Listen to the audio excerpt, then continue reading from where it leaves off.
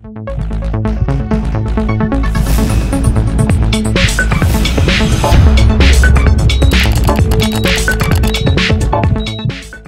To health masters. నిద్రపోయి లేచిన తర్వాత కానీ జలుబు పడిషం వంటివి వచ్చినప్పుడు కళ్ళ కొనల దగ్గర పుసి ఏర్పడుతుంది. అది ఒక్కొక్కరిలో ఒక్కోలా వస్తుంది.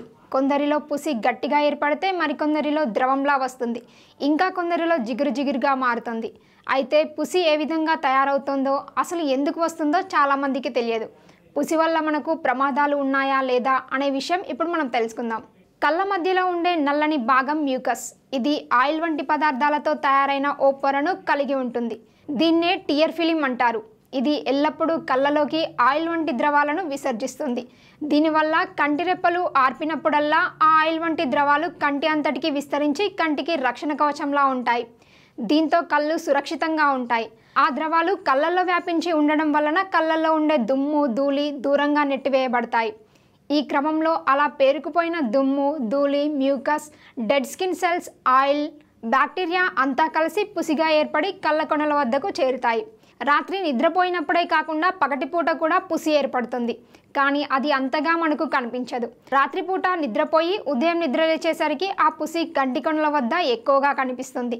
రాత్రిపూట ఎక్కువసేపు కళ్ళు మూసే ఉండడం వలన అంతా కళ్ళ కొనల వద్దకు చేరి ఎక్కువగా పేర్కొంటుంది. దీంతో ఉదయాన్నే కళ్ళ వద్ద మనకు పుసి ఎక్కువగా కనిపిస్తుంది. నిద్రపోవడం వల్ల వచ్చే పుసితో ఎలాంటి అనారోగ్యం కలగదు. కానీ అలా కాకుండా ఇతర ఏ సందర్భాల్లోనైనా పుసి ఎక్కువగా వస్తుందంటే దానికి కారణం అనారోగ్య సమస్య అన్నట్లు అర్థమవుతుందని ఆరోగ్య నిపుణులు చెబుతున్నారు. టియర్ ఫిలిం ఎక్కువగా ద్రవాలను స్రవించడం టియర్ ఫిలింకి ఏదైనా అడ్డుపడడం కళ్ళకి బ్యాక్టీరియా ఇన్ఫెక్షన్ కలగడం వల్ల పుసి ఎక్కువగా వస్తుంది.